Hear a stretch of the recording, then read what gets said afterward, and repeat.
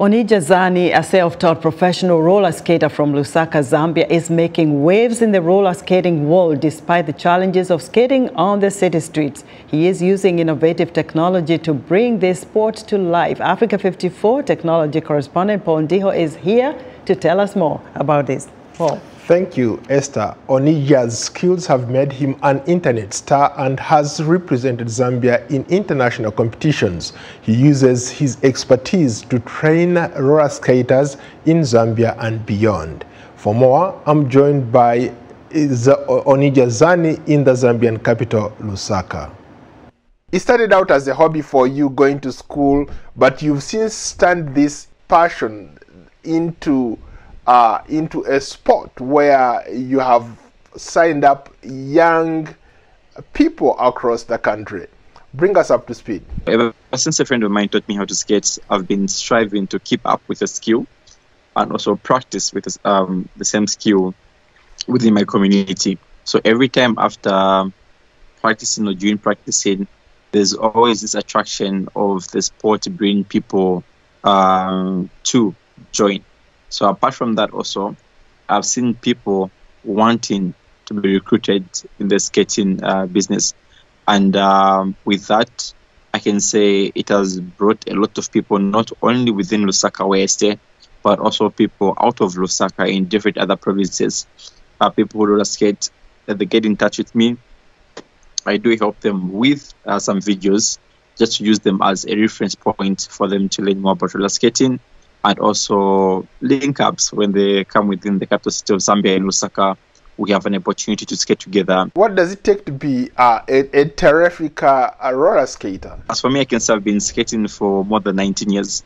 So it's not something that it's gradual or everyone who would hear my opinion would say it's difficult because they'll say I've been skating for a long time. But it is not that difficult. It is actually easy. It's it's not scary because people think of the falling part as the first element when they say roller skating, even skateboarding. So with that phobia, uh, they tend to shy away and say, I don't want to learn anything that will hit me. Uh, we all know during any any learning lesson, doesn't matter what sport it is, there are always challenges and there are always failures. You fall, you will have uh, challenges and problems at some point which I'm not saying that you actually cease to do the sport if you have all those fallings. Um, they're just minor. Then afterwards, you eventually um, improve and progress. So on my part, until now, I would say I do fall when I'm trying something way more extreme, but knowing that if I do not try that, I won't become a better roller skater. Same with my students, the whom I teach in Zambia. They are good skaters, but with more in um, have them having intrinsic motivation, um, they have managed to excel even way better than me. How many people have you uh, trained this far? Let me approximate. So approximately now, say maybe 600 plus. Uh, because aside from me doing the club training with people within my community, uh, I also do offer like private lessons. So for the private lessons, there are many, and over the years, which I was also using for the sake of my fundraising at school, the, at the University of Zambia. As you know, I was never accommodated there. I was roller skating, uh, going and coming back. That was also part of my marketing, that people would see me of skating and therefore they want some lessons. And through that, I would divide my time during my education time with also my lesson time that people come for private lessons and I would use that as a fundraising venture. So if I hear you correctly, you've already inspired uh, hundreds of young people across Zambia. And these are people yes. who are doing it uh, for fun and at a professional level. True. I would say yes, that's true.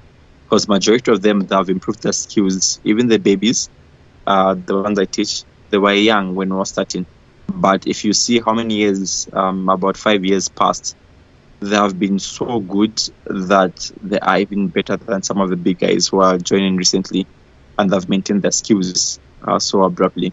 Is this something where uh, people pay a fee or it's uh, one of those things where you offer to the community?